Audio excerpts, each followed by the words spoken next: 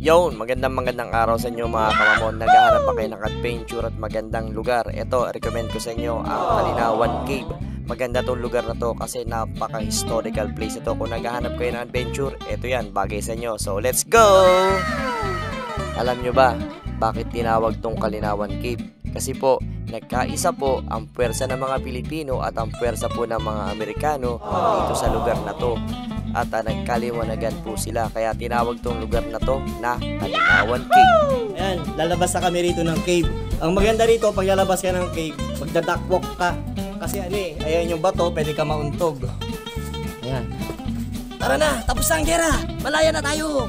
Labas! Labas! Wala nang hapon! Grabe ang ganda. Tapos, pag pinuntahan nyo yung lugar, ito, pagpapasok kayo dito,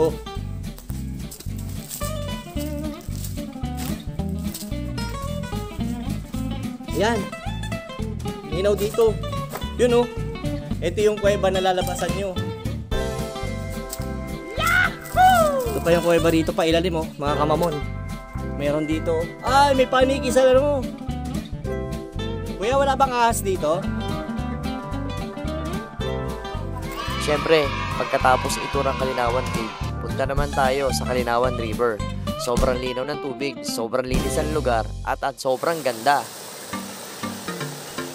Muli, sa mga gustong pumunta sa Kalinawan Cave, mahalin natin ang lugar, huwag mag-iwan ng kalat at higit sa lahat, mag-enjoy and smile. Again, please follow, like, and share my page. Salamat po and God bless. To God be the glory.